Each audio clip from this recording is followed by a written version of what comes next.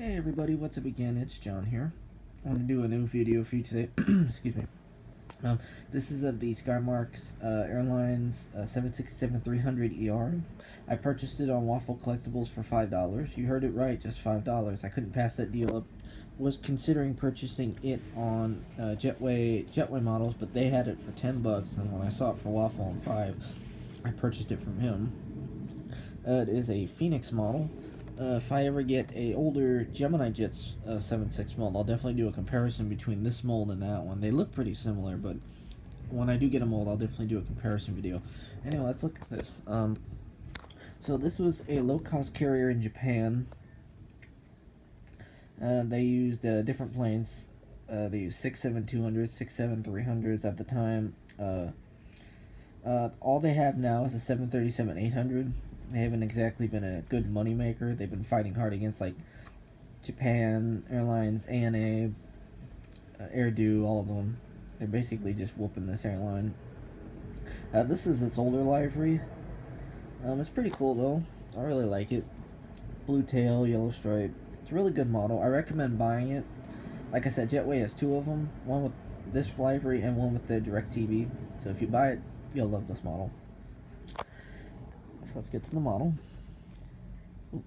Like I said, guys, um, I keep the light on. It helps with the model. I know the glare isn't the best thing, but I'll try and aim it so it doesn't get too much in the way. Uh, I'm just trying to find that sweet spot. Right. There we go. Yeah, sorry about that. we have the nose cone where the radome is. We have the windshield wipers, L1 door, on the landing gear door, it says 67A as part of the registration. We have the front L1. This would be the first class or business class section, depending on the configuration. Skymarks. We have the red collision vehicle. We have the L2 door. Um, as I stated with the TWA model, I did a while back. Um, this plane has the.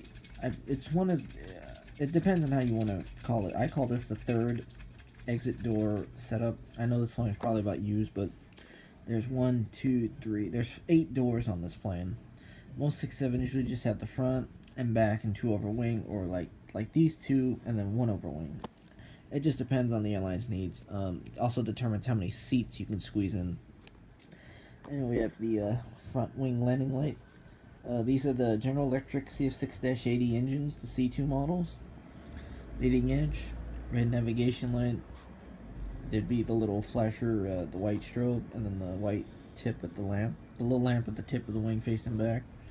We have the uh, outer aileron, flaps, spoilers. We have the inner aileron. L3 door. I believe those are the and one of the antennas. I forget which ones.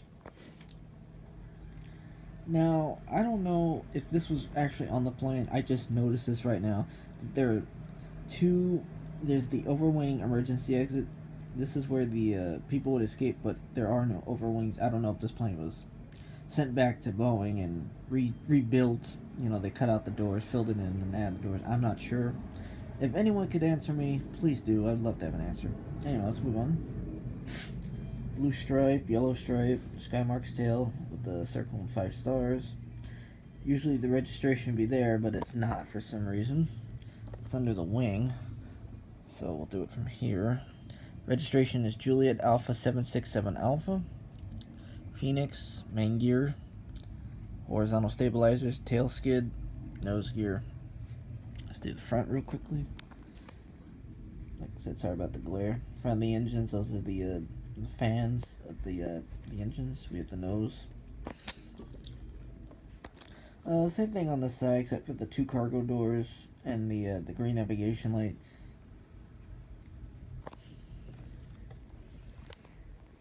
Horizontal stabilizer, vertical stabilizer, APU. You can see this. You can see the tail skid from here a little better. Backs of the engines. Mm. Not much to the box, just plain, plain but sometimes simple is probably the way to go. Yeah, this is a good model. I love it. Like I said, if I get an old Gemini 7.6, regardless what it is, I'll do a mold comparison. Anyway guys, hope you enjoyed this video. Um, I did order two more models from Waffle Collectibles today. I'll probably get them Monday or Tuesday. When I get a chance, I'll definitely do a video.